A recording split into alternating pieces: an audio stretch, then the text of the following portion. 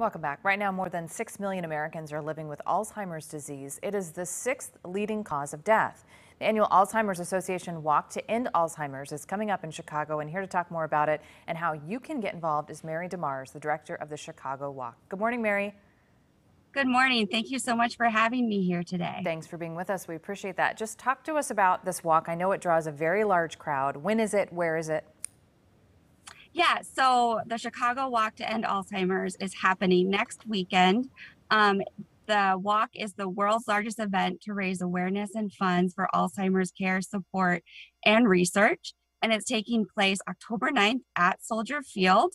Um, we're so excited. In normal years, we have about 5,000 participants that attend this walk, and we raise about $1.4 million.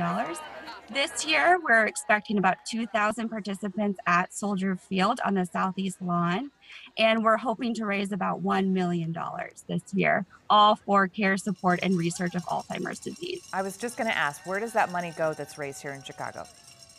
Yeah, it actually stays locally here in Chicago, which is awesome. It supports the support and care program um, of the Illinois chapter of the Alzheimer's Association and for Chicago residents. Um, and then it also goes to that 800 helpline. We actually have a helpline that is available 24 7 for anybody who has questions or concerns about a loved one or just wondering about the disease itself. So those funds go to that helpline. And that helpline is 1 800 272 3900. Great. So let's talk a little bit about the disease. What is it? And this impacts a lot of families, right? Yes, actually, it impacts 6 million Americans nationwide, and it actually impacts 230,000 Illinois residents. It's a neurological disease. Um, I am not the expert in this, so bear with me. Um, it kills nerve cells and tissues in the brain, and it affects an individual's ability to remember, think, and plan.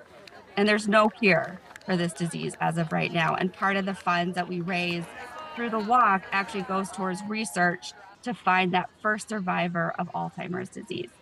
And for the families that are impacted, uh, you said 230,000 people here in Illinois are impacted. The families that participate in this walk, what does it mean for them?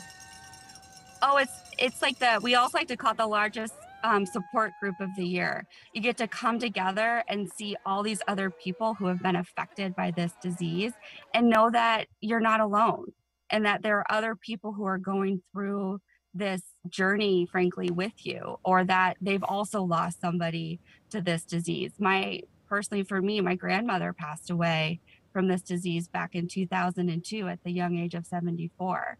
So I'm also, you know, I am so supportive of this cause as well and hoping that nobody else goes through the same thing my family went through. And real quick, we're almost out of time. Tell us what we need to know, uh, how we can get involved next weekend. Yeah, so the you just have to go to alz.org slash Chicago Walk to register. We while we do want you guys to raise funds, we're just happy if you can join us next Saturday at Soldier Field. All the information is alz.org slash walk. All right, perfect. Thanks so much for being with us, Mary. Thank you. Thank you.